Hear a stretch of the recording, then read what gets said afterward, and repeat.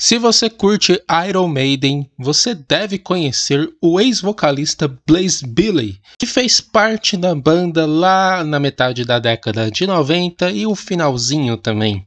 E se você lembra dele, você provavelmente deve lembrar dos trabalhos que ele lançou no Iron Maiden, que foram abaixo do esperado e também abaixo dos demais discos da Donzela de Ferro. Para a alegria de muitos fãs, Blaze Billy saiu da banda e voltou o vocalista Bruce Dixon lá em meados de 1999. Mas não estou aqui para contar a história do Iron Maiden, tanto é que eu já fiz isso em quatro longos vídeos aqui no canal. Então já fica a indicação para você assistir caso ainda não viu. O fato é que a carreira solo de Blaze Billy é sensacional. O problema é que muita gente ignorou o cara depois que ele saiu brigado do Iron Maiden, praticamente. E isso prova logo no seu primeiro disco, que vamos contar aqui no canal através do quadro Descomentando com a narração de Douglas Pinheiro.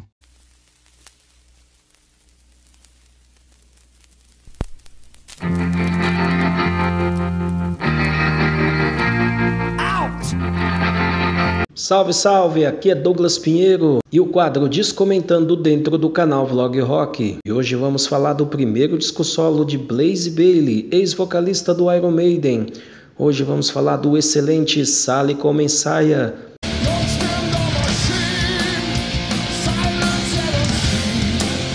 O álbum Sale Come Saia está completando 21 anos. E em 1999, Blaze Bailey foi demitido do Iron Maiden para que Bruce Dixon e Adrian Smith voltassem para a banda.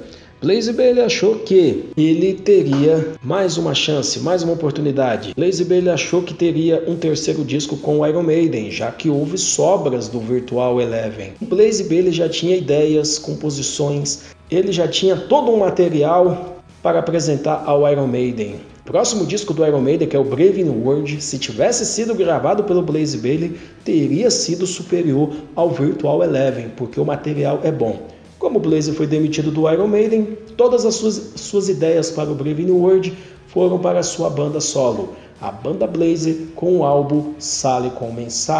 E sem sombra de dúvidas, Sally com é um dos melhores discos da carreira de Blaze Bailey muito superior, muito melhor que Virtual Eleven. Sale como ensaia é um verdadeiro tapa na cara dos críticos, um verdadeiro tapa na cara daqueles que nunca acreditaram, que nunca gostaram, que sempre detonaram e odiaram Blaze Bailey. Blaze Bailey em como ensaia mostra sim que ele é um bom vocalista e que o grande erro foi Steve Harris de não ter adequado o som do Iron Maiden para a voz de Blaze Bailey, principalmente nas performances ao vivo, onde Steve Harris não diminuiu o tom das músicas. Blaze Bailey tinha que se sacrificar e tocar nos tons originais. O grande culpado pela, pela fase Blaze Bailey não ter dado certo foi o próprio Steve Harris. Sim, foi ele que escolheu Blaze Bailey. Blaze Bailey sempre foi um cara humilde, gente fina e que em carreira solo lançou grandes discos.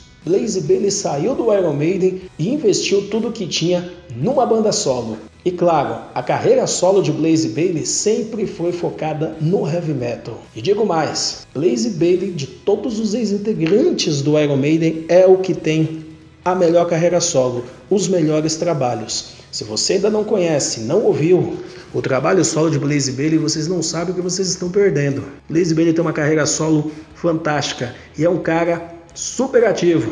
Quanto à formação do atual do Iron Maiden, lançaram poucos discos, Blaze Bailey já lançou 11.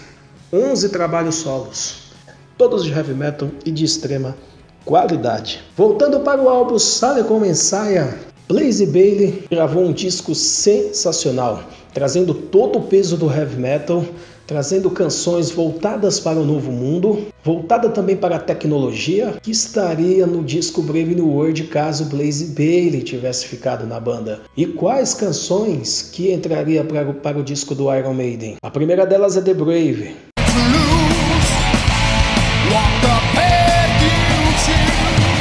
A outra é The Laukin.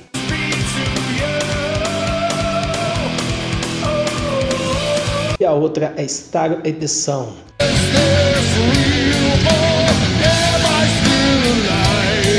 três canções excelentes que se juntaria a Blood Blooders, que é uma sobra de estúdio do Virtual Eleven, da qual Blaze Bailey vendeu seus direitos para o Steve Harris, além de The Nomad, Dream of Millions e The Mercenary.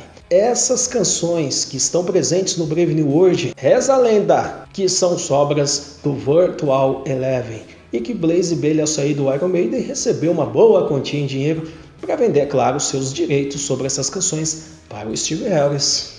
E além do mais, imagina o álbum Brave New World com Blaze Bailey, seria excelente, seria superior ao Virtual Eleven.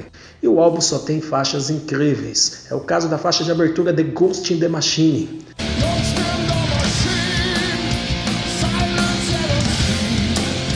toda a modernidade, todo o peso, toda a estrutura de uma canção sensacional. Evolution.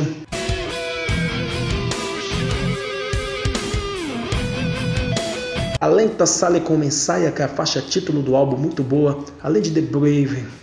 Indente, que canção sensacional. São 10 faixas que vale a pena escutar. Até mesmo as faixas bônus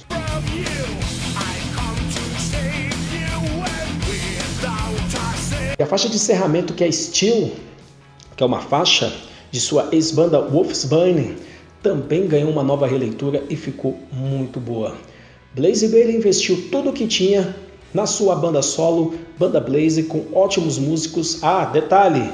O produtor de Silicon Messiah é o Enden Chip, o atual guitarrista do Judas Priest e produtor do excelentíssimo Flower Power. Então, esse cara que já produziu grandes bandas, grandes nomes do metal, produziu essa obra-prima da carreira solo de Blaze Bailey, o excelente Sally Messiah.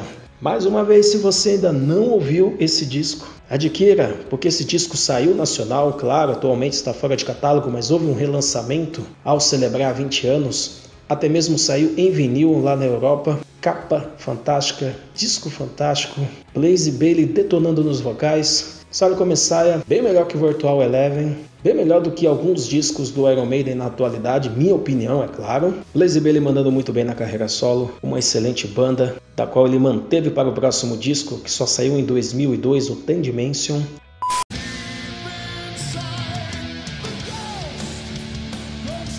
Esse foi o quadro Descomentando, falando um pouco de Sale Comensaia, primeiro trabalho solo, Blaze Bailey, disco da qual completa 21 anos. É um disco que já está maior de idade.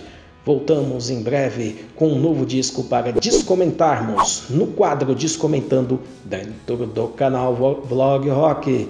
Obrigado, até a próxima, valeu!